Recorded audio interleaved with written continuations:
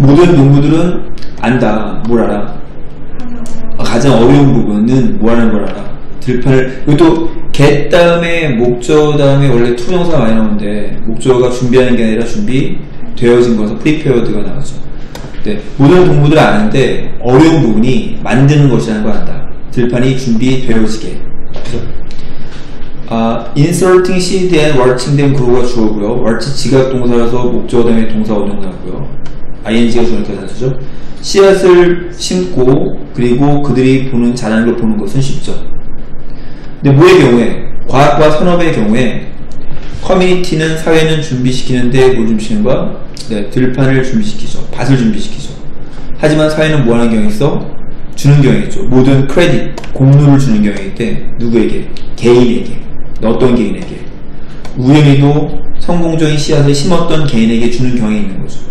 네, 이건 비유적인 표현이었네요. 그러지 말라는 얘기인 것 같고.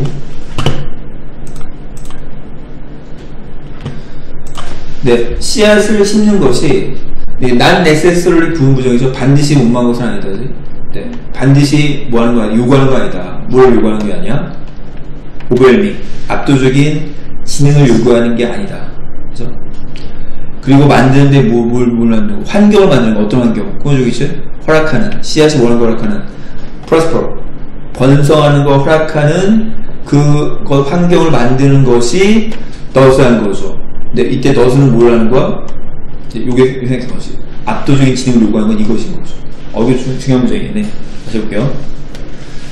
식물을 심는 것은 엄청난 지능을 요구하지 않는다. 어떤, 어떤 것? 허락하는데 씨앗이 번성하는 허락하는 환경을 만드는 것이 엄청난 지능을 요구하는 것이죠. 우리는 뭐 할 필요가 있냐면 더 많은 공로를 줄 필요가 있다. 공동체, 과학과 정치와 비즈니스와 그 매일매일의 삶에서 마틴 루터 킹 주니어는 위대한 사람이었죠.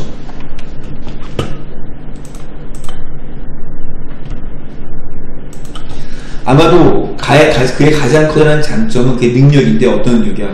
영감을 주는 사람들에게 영감을 주는 더 함께 일하도록 영감을 주는 능력이죠. 뭐 하기 위해서 성취하기 위해서. 근데 이렇게 이게 목적 중간에 살펴한 거죠.